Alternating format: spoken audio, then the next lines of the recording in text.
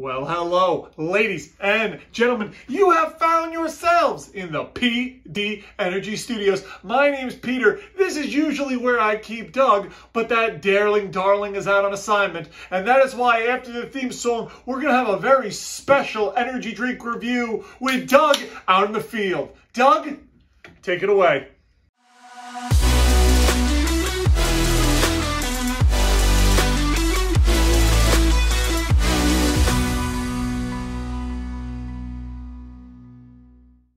Hey, this is Doug from PD Energies. Pete's not with me. I'm on a road trip. Unfortunately, Pete's not here, but uh, I saw that Sheetz Sheetz has uh, energy infused drinks, a Red Bull. Um, so I got this strawberry Puckermelon. Um, has sour watermelon, squirt of strawberry, and Red Bull in it.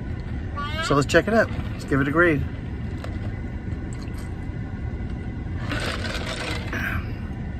Pretty delicious.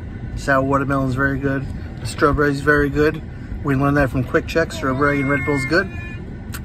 Um, this is on the rocks here.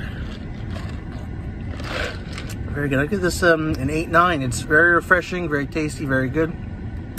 Uh, you should check it out yourself. Sheetz are in Pennsylvania, Ohio, Maryland.